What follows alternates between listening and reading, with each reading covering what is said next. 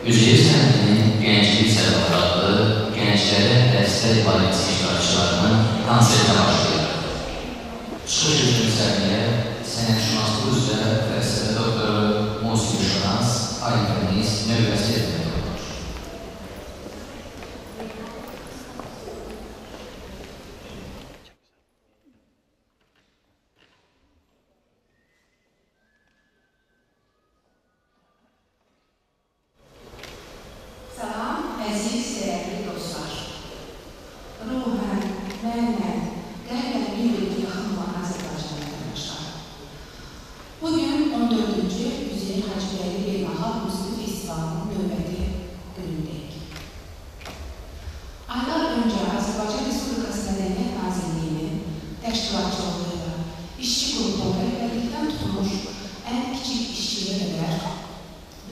əzmlə, zəhmətlə planladığı müxtəlif tədbirlərin ə, konsepsiyasını qurduğu ə, beynəlxalq festival bu gün sizin qarşınızdadır. Lakin planlanan festivalın tərkibində müəyyən dəyişik,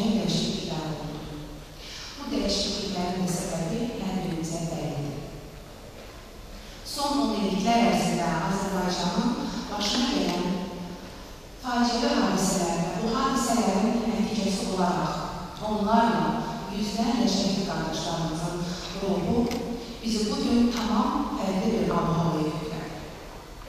Belə ki, 12-13 sentyabr tarixində növbəti dəfə olaraq biz onlarla şəhid vermiş olduq. Sentyabr ayı artıq Azərbaycan tarixinin ikinci qara hərflərlə yazılmış bir ayını çevrildi. Və bu səbəbdən irəli gəlir ki, bugün Üzeyir Hacıbəyli Festivalı çərçivəsində keçirilən adı çəkilən konsertlər konsepsiyası bir qədər fərqli şəkildə təqdim olunmaqdadır.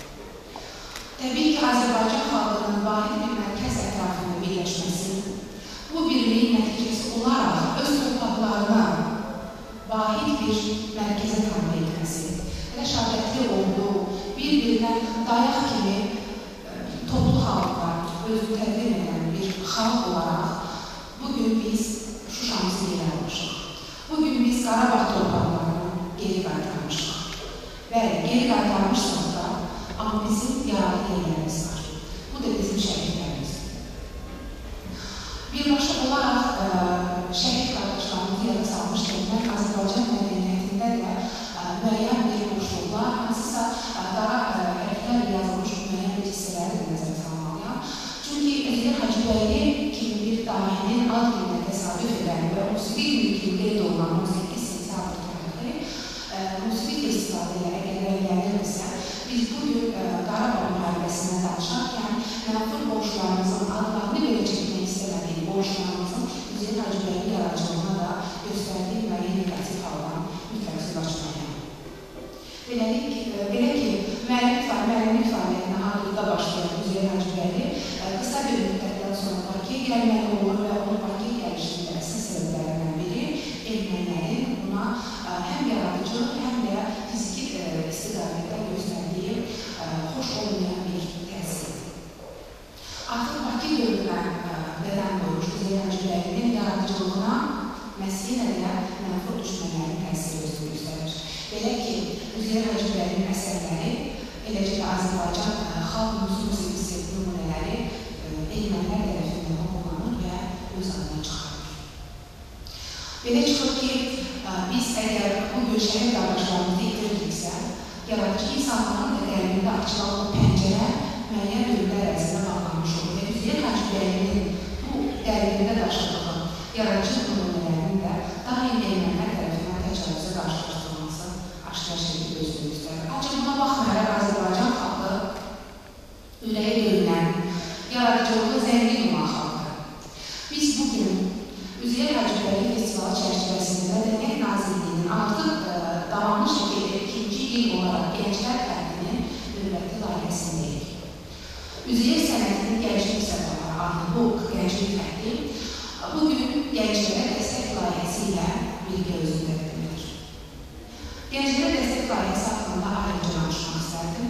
Bu 2016-cı ildə Azərbaycan Respublikası Mədəniyyət Nazirliyinin dəstəyi ilə təşəbbüskarı Azərbaycan Respublikasının xalq artisti, professor Murad Lətif Adgözəlzadənin təşəbbüsü ilə və Azərbaycan Respublikası Akademik Dövlət Filarmoniyasının quruluşçu rejissoru, musiqişünas, layihənin koordinatoru Aylıqan Zəkəriyyənin birgə fəaliyyətin nəticəsidir ki, bugün gənclərə dəstək layihəsi artıq özünü təkcə Azərbaycan ə, daxilində deyil, eyni zamanda xarici ölkələrdə də təsdiq etmiş bir layihədir. Və bu layihənin ən önəmli cəhətlərindən biri də odur ki, o ə, layihə şəklində gəncləri dəstəkləyən və adından göründüyü kimi daim gənclərin arxasında duran, ona yaradıcılıq baxımından və səmalıq gücünü göstərməyə köməklik göstərən ilk layihədir ki, Azərbaycanda gerçəkləşmişdir.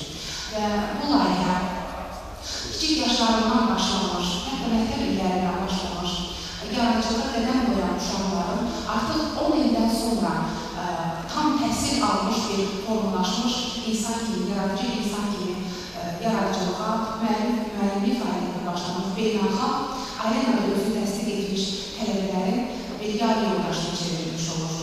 Belə çıxır ki, gənclərə dəstək layihəsi 6 il müddətində fəaliyyət göstərib və onun səhnəsində böyüyən şagirdlərin tələbəyə, tələbələrin isə bu günün gənclərə çevrilməsini gətirib çıxarır. Dünənin uşaqları bu günün gəncləridir. Bu günün gəncləri sabahın qəhrəmanlarıdır. Biz daim qəhrəmanlarımızın yanında olmalıyıq. Əgər bu gün biz şəhidlərimizlə qürur duyuruqsa, onların varlığı, varlığını daim hiss ediriksə, biz bir yaradıcı insanlar olaraq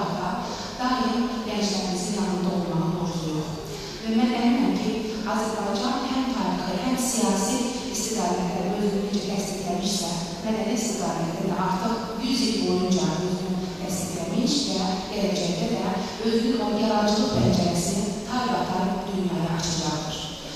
Yəni, daim bir-birimizin əlindən möhkəm yapışaq, gənclərə daim dəstək olaq və onların Quran əlinə çəkmək. Bugün üçün, diqqətiniz üçün, varlığınız üçün hər birinizə təşəkkür